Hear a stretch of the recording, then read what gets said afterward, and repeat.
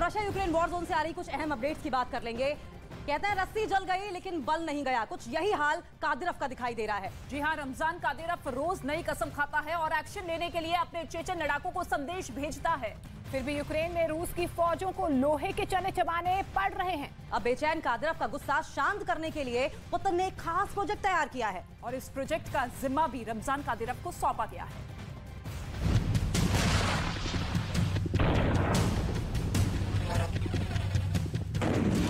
खौफ का नाम है कादिरा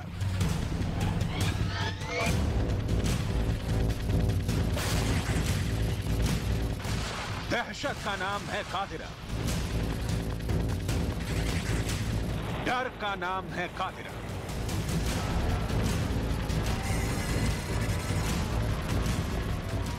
इसीलिए जब कहीं कोई खतरा ये अपने घर की छत पर ही फल और सब्ज़ियाँ उगाते हैं। महीने का 40 से पचास हज़ार कमाते भी हैं। इनसे सीखना है तो फ्रीडम ऐप को अभी डाउनलोड करो। पैदा होता है तो पुतिन उस खतरे को संभालने का जिम्मा कादिरव को सौंप देते हैं। और एक बार फिर यही हुआ है।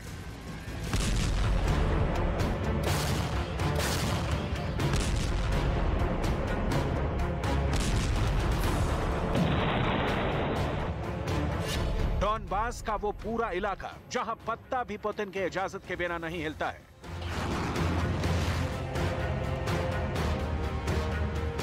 डॉनबास जो कभी इलाका तो यूक्रेन का था, लेकिन अब वहाँ पुतिन की फौजें बहुत गहराई तक अपनी जड़ें जमा चुकी हैं। उसी डॉनबास के अंदर अब पुतिन के खिलाफ विद्रोह करने वाले जेलेंस्की के समर्थकों को अब पुतिन सीधे चेचन्या शिफ्ट कर रहे हैं।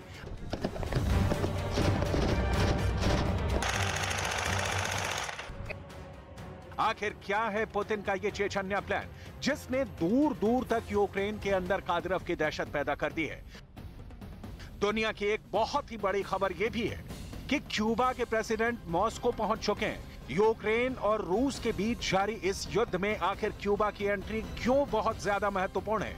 ये बात आप तब समझ पाएँगे जब आप देखेंगे क्यूबा का ये नक्शा। दरअसल क्यूबा की लोकेशन अमेरिका के बिल्कुल करीब है। बाइडन की नाक के नीचे क्यूबा के अंदर क्या पुतिन कोई बहुत बड़ी साजिश का प्लान कर रहे हैं?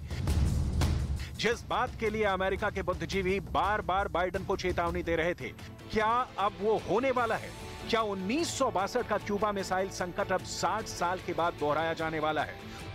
पूरा इतिहास भूगोल हम आपको समझाने वाले हैं।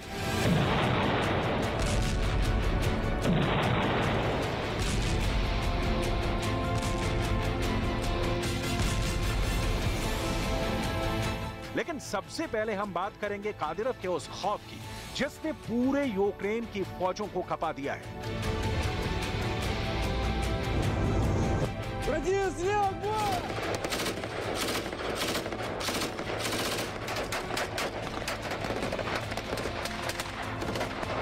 कादिरव अपना हर खूंखार और क्रूर प्लान अपने टेलीग्राम चैनल पर पोस्ट करता है, जिसमें करीब तीन मिलियन मेंबर्स मौजूद हैं। खेरसोन के अंदर नाइपर नदी का यूक्रेन से सटा इलाका खाली करने के बाद, यानी यहाँ से रूस की सेना का सरेंडर होने के बाद कादिरफ पूरी तरह परेशान और दुखी है। इसलिए अपनी मानसिक पीड़ा को दूर करने के लिए कादिरफ टेलीग्राम पर बेहद खतरनाक संदेश भेज रहा है।